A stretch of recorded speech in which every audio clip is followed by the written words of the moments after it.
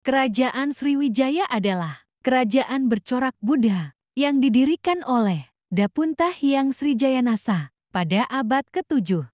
Kerajaan Sriwijaya terletak di tepian Sungai Musi di daerah Palembang, Sumatera Selatan.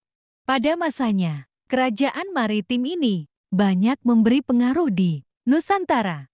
Kerajaan Sriwijaya mencapai puncak kejayaan ketika diperintah oleh Raja Balaputra Dewa, yang berkuasa pada abad ke-9. Pada masa kejayaannya, Sriwijaya mengontrol perdagangan di jalur utama Selat Malaka dan daerah kekuasaannya, meliputi Kamboja, Thailand Selatan, Semenanjung Malay, Sumatera, dan sebagian Jawa.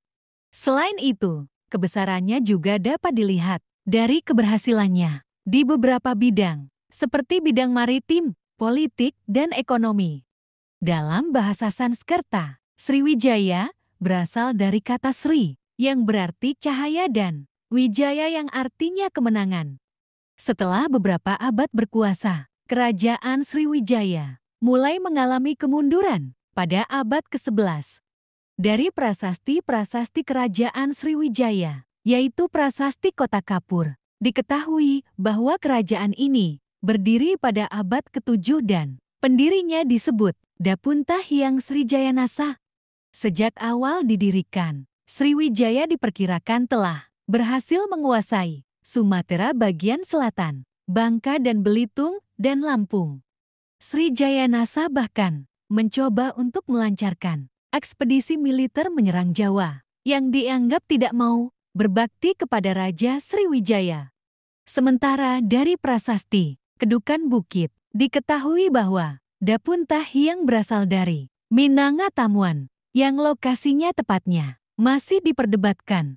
Diceritakan pula bahwa Dapunta yang mengadakan perjalanan dengan memimpin 20.000 tentara dari Minanga, Tamuan ke Palembang, Jambi, dan Bengkulu. Dalam perjalanan tersebut, ia berhasil menaklukkan daerah-daerah yang strategis untuk perdagangan sehingga kerajaan Sriwijaya menjadi berkembang dan makmur.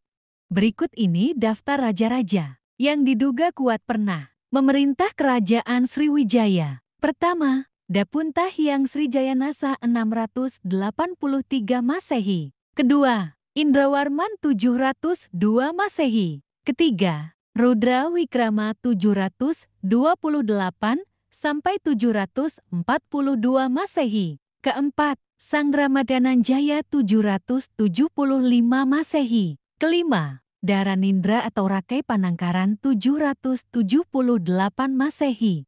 Keenam, Dapunta Hyang Srijayanasa 683 Masehi. Ketujuh, Indrawarman 702 Masehi. Kedelapan, Rudra Wikrama 728 sampai 742 Masehi.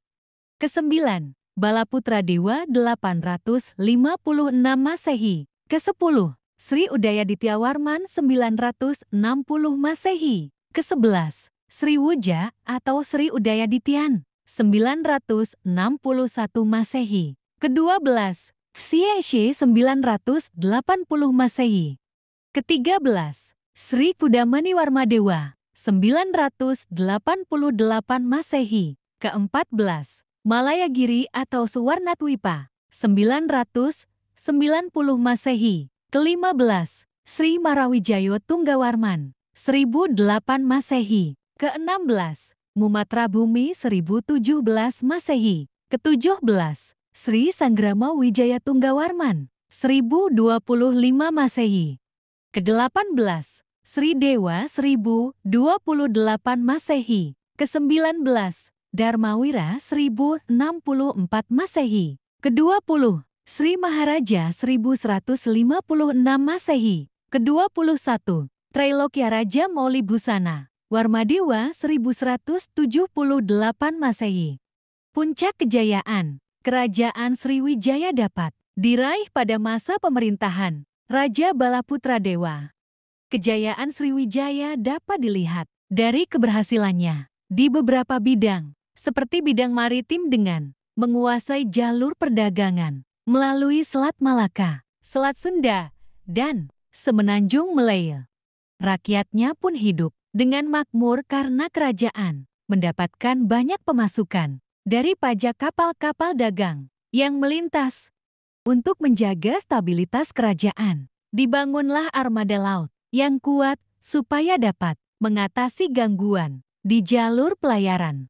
Sriwijaya juga menjalin hubungan perdagangan dengan Indi, Cina, dan bangsa-bangsa lain. Selain menonjol di bidang maritim, kerajaan Sriwijaya juga maju di bidang politik, ekonomi, dan agama. Di bidang politik, Sriwijaya dianggap sebagai kerajaan nasional pertama karena wilayah kekuasaannya sangat luas. Raja Balaputra Dewa juga menjalin hubungan erat dengan kerajaan Benggala yang kala itu dipimpin oleh Raja Dewa Paladiwa. Raja ini menghadiahkan sebidang tanah kepada Balaputra Dewa untuk mendirikan asrama bagi para pelajar dan siswa yang sedang belajar di Nalanda. Hal tersebut menandakan Balaputra Dewa memerhatikan ilmu pengetahuan bagi generasi mudanya. Kerajaan Sriwijaya mulai mengalami kemunduran pada abad ke-11. Kemunduran melanda berbagai bidang kehidupan, seperti ekonomi dan politik. Berikut ini beberapa faktor yang menyebabkan runtuhnya Kerajaan Sriwijaya. Pertama, berulang kali diserang Kolamandala dari Indi. Kedua, terdesak Kerajaan Talan dan Singasari. Ketiga, banyak raja-raja taklukan yang melepaskan diri. Mengalami kemunduran ekonomi dan perdagangan karena bandar-bandar pentingnya melepaskan diri.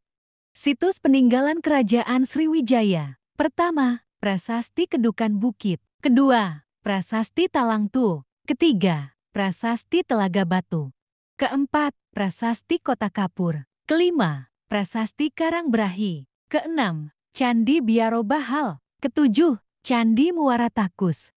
Itulah sejarah Kerajaan Sriwijaya. Jangan lupa subscribe agar tidak ketinggalan artikel lainnya.